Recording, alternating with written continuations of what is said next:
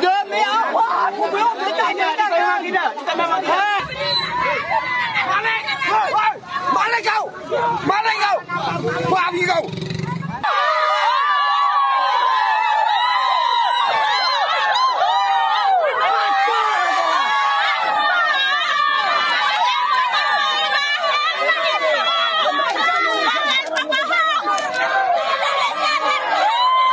Bertanya masalah hukum masalah rumah saya mana tahu. Nggak jalur ibu tanya ke DP jelaskan sama Ah, ya saya saya bilang ke ibu tadi kan kita buka jalan di sini dulu. Sama-sama ibu.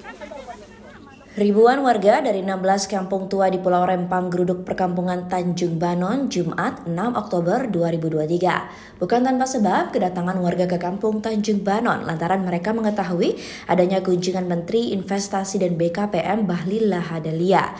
Sontak, warga pun beramai-ramai berjalan kaki long march dari simpang dapur 6 menuju Tanjung Banon. Mereka membawa spanduk dan karton dengan beragam tulisan. Tulisan berbagai penolakan terpampang jelas di karton dan spanduk. Masyarakat pun meneriaki Menteri Bahlil. Keseruan penolakan mewarnai keriuhan di lokasi. Bahkan Menteri Bahlil tampak dikepung warga. Sebelumnya, Kepala Badan Koordinasi Penanaman Modal Indonesia BKPM itu irit bicara serta menuju ke mobil setelah menunaikan sholat Jumat di Masjid Tanja, Pendarahang Nadim Batam, Jumat 6 Oktober 2023. Kunjungan Menteri Investasi ke Batam untuk kesekian kalinya ini diketahui masih ada kaitannya dengan rencana investasi di Pulau Rempang. Menteri Investasi Bahlil Lahadalia tiba di kota Batam melalui Bandara Hang Nadim sekira pukul 11.45 waktu Indonesia Barat. Pantauan Tribun Batam.id di lapangan. Setelah menunaikan sholat Jumat, Bali Lahadalia didampingi Kepala BP Batam, Muhammad Rudi, langsung masuk ke dalam mobil menuju tempat makan. Tidak ada sepatah kata pun diungkapkannya saat pewarta meminta komentarnya dan langsung masuk ke dalam mobil dan berangkat ke tempat makan yang disiapkan dulu.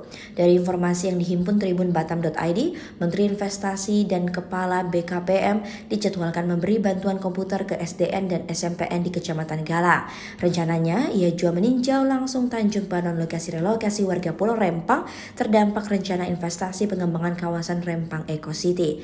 Bahlil Lahadalia juga dijadwalkan berdialog dengan sejumlah tokoh masyarakat di sejumlah termasuk meninjau masyarakat sudah bersedia direlokasi. Ia diketahui langsung bertolak kembali ke Jakarta menggunakan pesawat Garuda Indonesia lewat Bandara Hang Nadim sekira pukul 17.30 waktu Indonesia Barat. Download Tribun X sekarang. Menghadirkan lokal menjadi Indonesia.